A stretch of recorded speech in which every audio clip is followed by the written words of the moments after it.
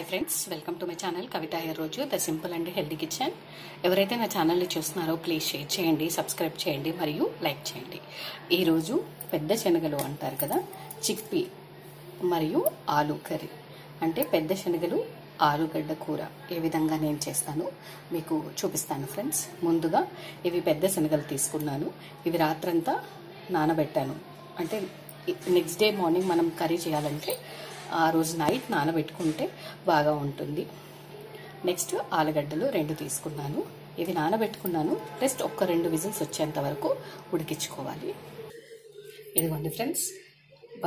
పెద్ద శనగలు మరియు ఆలుగడ్డ రెండు కలిపి ఉడికిస్తున్నాను. కొంచెం అంటే కొంచెం ఉప్పు కొంచెం ఆయిల్ కొంచెం పసుపు వేసాను. రెండు విజిల్స్ వచ్చేంత వరకు మనము ఉడికించుకోవాలి. ఇదిగోండి ఫ్రెండ్స్. బఠానీలు ఉడికాయి. పెద్ద బఠానీలు లేదా పెద్ద శనగలు. ఆలుగడ్డ ఉడికిచ్చేసుకున్నాం కదా దీంతో పాటుగానే శనగలతో దాన్ని కూడా ముక్కలుగా కట్ చేసి పెట్టుకున్నాము. నెక్స్ట్ రెండు మీడియం సైజు ఉల్లిగడ్డలు కట్ చేసుకున్నాను. ఒక పెద్ద టమాటా కట్ చేసుకున్నాను. ఒక రెండు పచ్చిమిర్చి కట్ చేసుకున్నాను. నెక్స్ట్ స్టవ్ ఆన్ చేసి కడాయి పెట్టాను. అదే ఫ్రైయింగ్ పాన్ పెట్టాను.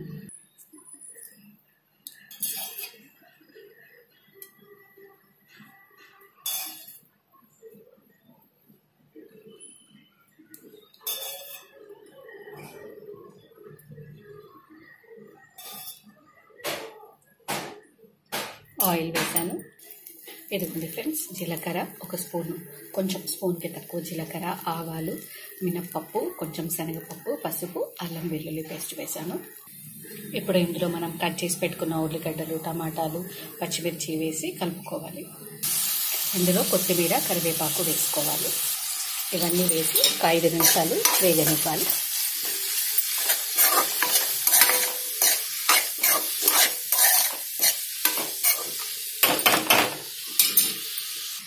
ఇదిగోండి ఫ్రెండ్స్ ఇంకా ఒక ఐదు పది నిమిషాలు మగ్గనివ్వాలి ఇవి బాగా మగ్గిన తర్వాతే మనం ఆ ఉడికించుకున్న ఆలు మరియు ఉడికించుకున్న పెద్ద శనగలు వేసుకోవాలి. ఇదిగోండి ఫ్రెండ్స్ అన్నీ కూడా బాగా మగ్గాయి. ఇప్పుడు మనము ఉడికించినటువంటి ఆలు మరియు పెద్ద శనగలు వేసుకుందాం. ఇదిగోండి ఫ్రెండ్స్ ఈ విధంగా మొత్తంగా అన్నీ వేసి ఒక ఐదు నిమిషాలు మగ్గనివ్వాలి. ఇదిగోండి ఫ్రెండ్స్ ఇంకా కొంచెం దగ్గరగా రానివ్వాలి. ఇప్పుడు ఇందులో కారము ఉప్పు ధనియాల పొడి నువ్వులు పల్లీలు రెండు వేయించి పొడి చేసి పెట్టుకున్నాను. ఆ పొడిని కూడా వేసుకోవాలి. కారము ఉప్పు మీ టేస్ట్ని బట్టి వేసుకోండి. నేను ఒకటిన్నర స్పూను కారము ఒక స్పూను కొంచెం తక్కువ ఉప్పు ఒక స్పూను నువ్వులు పల్లీలు కలిపి మనం మిక్సీకి పట్టిన పొడి ఒక స్పూన్ ధనియాల పొడి వేసాము. ఇవన్నీ ఇప్పుడు బాగా కలుపుకోవాలి. ఒక్క ఐదు నిమిషాలు మగ్గనివ్వాలి. ఎందుకంటే ఈ మసాలాలంతా కూడా ఇప్పుడు బాగా ఆలుకును దొడ్డు శనగలు లేదా పెద్ద శనగలకు పట్టుకోవాలి కాబట్టి.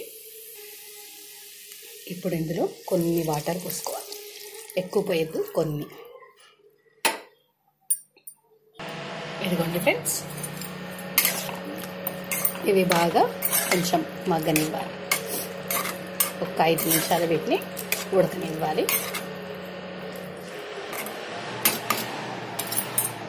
కారం ఉప్పు సరి చూసుకొని మీకు తక్కువ అనిపిస్తే కొంచెం కావాలనుకుంటే వేసి ఇదిగోండి ఫ్రెండ్స్ ఆయిల్ అంతా కూడా పైకి వచ్చేసింది. ఇప్పుడు మనం స్టవ్ ఆఫ్ వేసుకొని బౌల్లోకి తీసేసుకుందాం ఇదిగోండి ఫ్రెండ్స్ వేడి వేడి చిక్పీ ఆలు కర్రీ లేదా పెద్ద శనగలు ఆలు కర్రీ రెడీ అయిపోయింది. మీరు కూడా మస్ట్గా ట్రై చేసి చూడండి. ఇది అన్నంలోకి బాగుంటుంది చపాతీలోకి బాగుంటుంది పూరీలోకి బాగుంటుంది. ఈవెన్ బిర్యానీలోకి కూడా చాలా బాగుంటుంది. మస్ట్గా ట్రై చేయండి friends. Thank you friends please subscribe me and share my channel